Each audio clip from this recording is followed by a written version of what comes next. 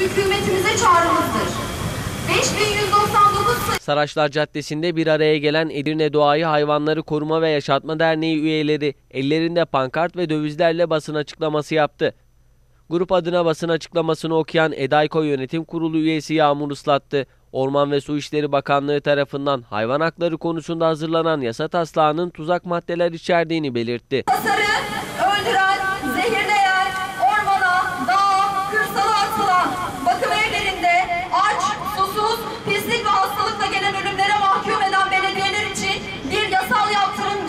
getirmemiştir.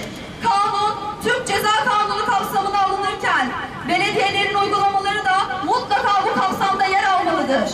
Şahıslardan hayvanlara zulüm ve işkencede verilen cezalar ise yeterli biçimde caydırıcı değildir.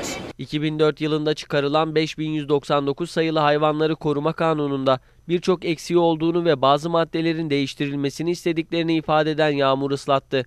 Hayvanların şehir dışına itilmesine karşıyız dedi. Islattı şöyle devam etti. Tasarının üçüncü maddesinde bakım evlerindeki sahiplendirilemeyen hayvanlar, okul, hastane, ibadethane, çocuk oyun alanı gibi toplumun yoğun olarak kullanıldığı yerler hariç alındığı ortama bırakılır hükmüyle hayvanlar